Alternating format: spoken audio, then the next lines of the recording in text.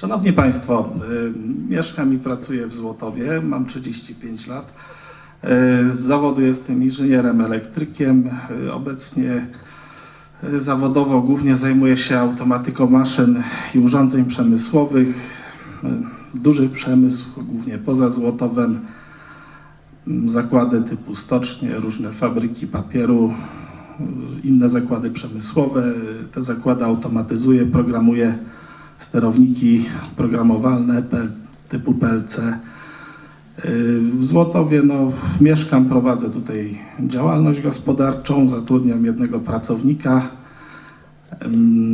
Generalnie nie mam zbyt wiele czasu poza pracą zawodową i oczywiście też czasu poświęconego na rodzinę, ale stwierdziłem, że jest kilka rzeczy, które można i trzeba w naszym mieście przeprowadzić i sposobem do realizacji e, jedyną możliwą metodą to jest to być w Radzie Miejskiej, żeby faktycznie mieć wpływ na to.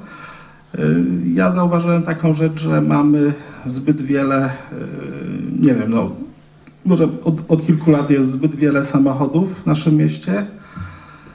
Cały czas słyszymy o problemie parkingów, braku, braku parkingów, rozbudowie ulic.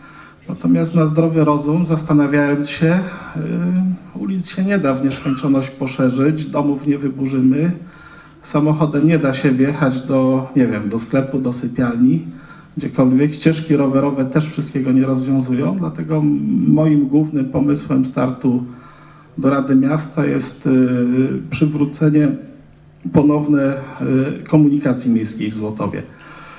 Zdaję sobie sprawę jako osoba prowadząca działalność gospodarczą, że no, nie zawsze, no, wręcz nie wypada się rządzić nie swoimi pieniędzmi, bo będąc radnym wydatkuje nie swoje pieniądze, tylko współmieszkańców, współpodatników. I, ale uważam, że są przez, bo 20, pamiętam jako jeszcze dziecko, że 20 lat temu była pewna próba wprowadzenia autobusów miejskich w Złotowie nie wiem, z różnych względów to, to zanikło. Natomiast uważam, że są teraz nowe okoliczności, żeby ta y, komunikacja y, no, miała rację bytu. Y, Po pierwsze są dopłaty unijne, które można wykorzystać do zakupu sprzętu. Po drugie są różne nowe układy napędowe typu hybrydowe, układy zasilane gazem bądź wręcz pojazdy elektryczne lada moment się pojawią. I tu jest szansa, żeby te dzięki temu bilety były na tyle tanie, żeby, żebyśmy wszyscy mogli z tego korzystać, a miasto nie dopłacało do bieżącej eksploatacji. Dziękuję Państwu.